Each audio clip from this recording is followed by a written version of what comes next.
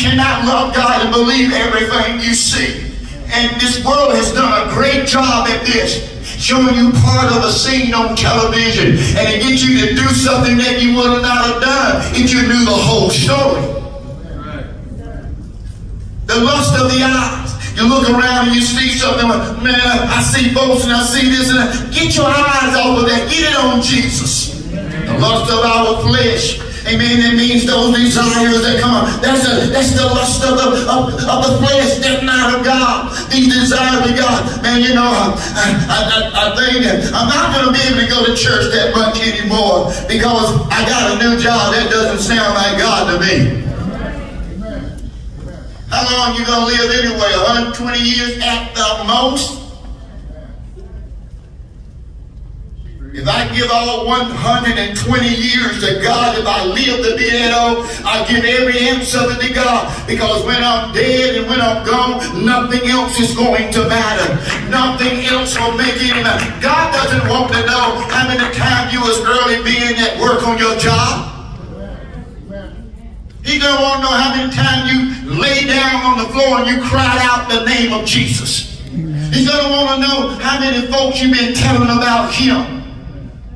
You see, we get it so mixed up. We get it so backwards sometimes. Uh, amen. And, and, and, trying to figure out, but the lust of our flesh, the devil dangles all these things out before us. Uh, amen. This and that. He tell, I'm going to give you a career. A career make you look like you're smart, don't you? But you ain't got God. You ain't smart at all. You ain't giving your life to God. You ain't smart at all. In case you don't know, some of the smartest folks in this world has never been to college. Amen. This is preaching, they said you got to go to college to, to be somebody. Yeah, you go to college to get in debt. That's right. And you owe them for the rest of your life. Yeah. This brain that God gave you can do anything.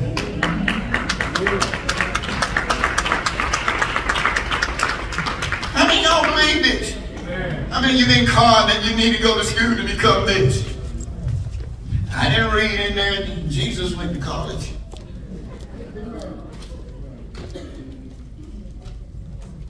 Anybody read anything like that? oh no, you didn't read anything like that.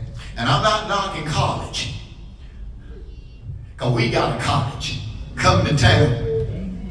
It is not like a college of the world.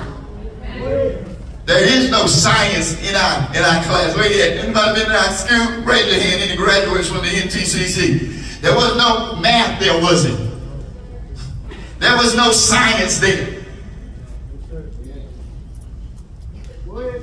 You said, what was it, preacher? All 40 credits, all based on the word of Almighty God. All about Jesus.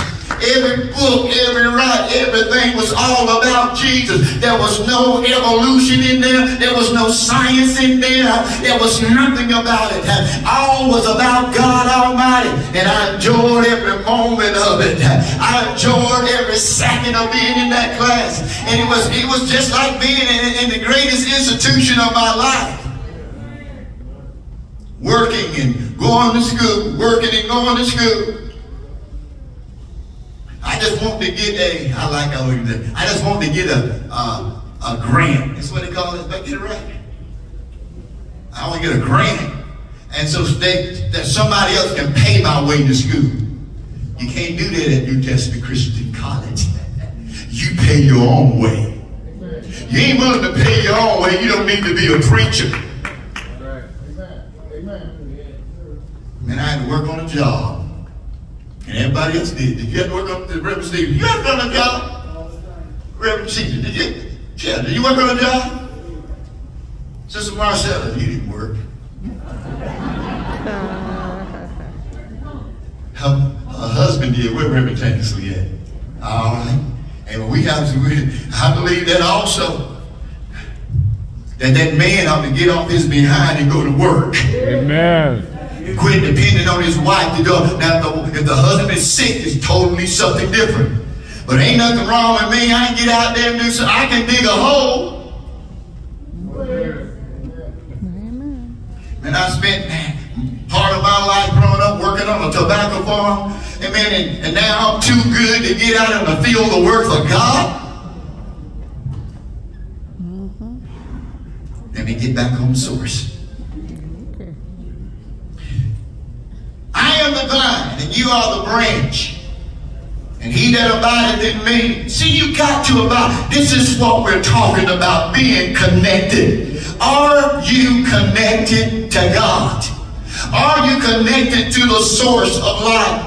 He made the statement again, I'm going to read it again, that he that abideth in me and I in him the same. You want to bring forth fruit for God Almighty? You got to abide in him, and he has to abide in you. You bring forth the Bible said much fruit will begin to come out of your life uh, just by abiding in God. I'm staying connected with God. I'm not going to break my connection with God to go over here and to go over there. I'm going to stay connected with the Lord God Almighty. He's my King.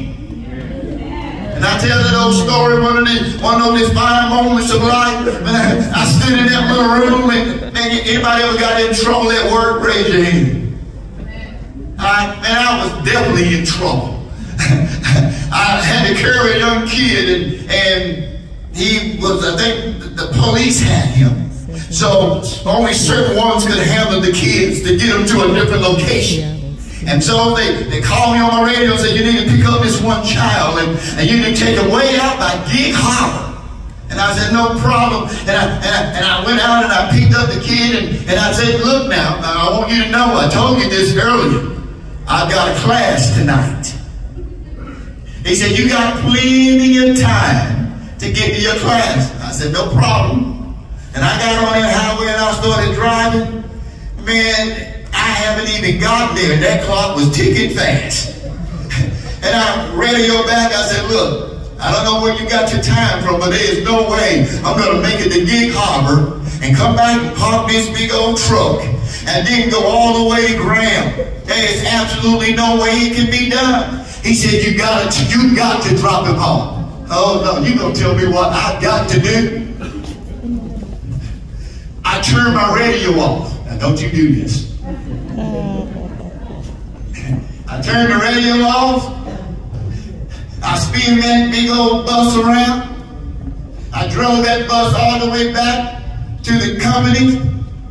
I brought that kid into the office. I dropped him off at the dispatcher's door, at his door, and said, you take it. He said, you can't do that. Done done it. That ain't good English, is it? It already, and I'm out of here. Oh boy, you talking about the next day. Oh, help me, Jesus. Man, that was waiting on me. The head man from Seattle that came down was waiting on me.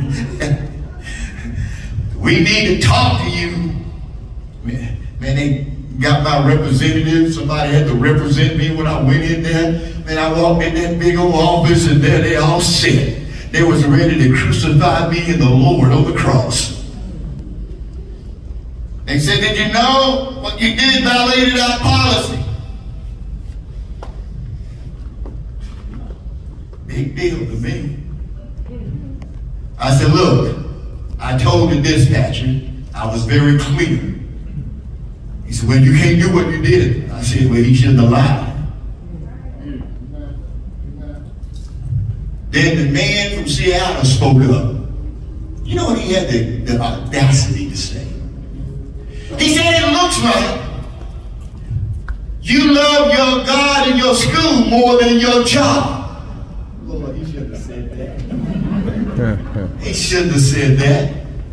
I looked at that dude sitting behind that desk. I said, I sure do.